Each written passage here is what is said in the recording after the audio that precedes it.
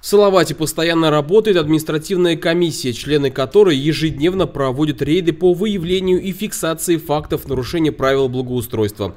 К таковым относятся, например, парковки автомобилей у оборудованных мест хранения мусора или у мусоросборочных пунктов в домах, где имеется мусоропровод. В ходе сегодняшнего рейда было выявлено э, нарушение правил адми, э, административные правонарушения. Это по статье 623 размещение транспортных средств у контейнерных площадок и мест мусоросборных камер.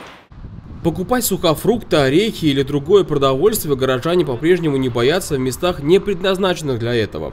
Выявление подобных мест и привлечение к ответственности продавцов тоже входит в обязанность административной комиссии.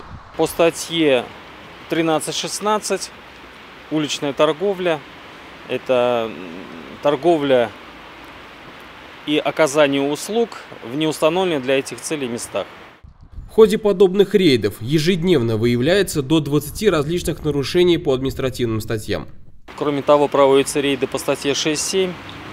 Это размещение информационных материалов, это реклама, всевозможные буклеты на деревьях, на столбах, на знаках, на домах, на магазинах. За это предусмотрен тоже штраф по статье 6.7.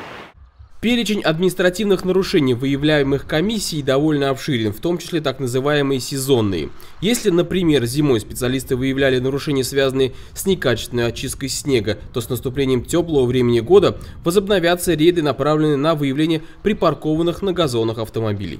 В преддверии летнего периода хочется, конечно, обратиться к гражданам, чтобы не заезжали на газоны, не оставляли свои транспортные средства на детских площадках, спортивных площадках, а ровно и проезд по ним.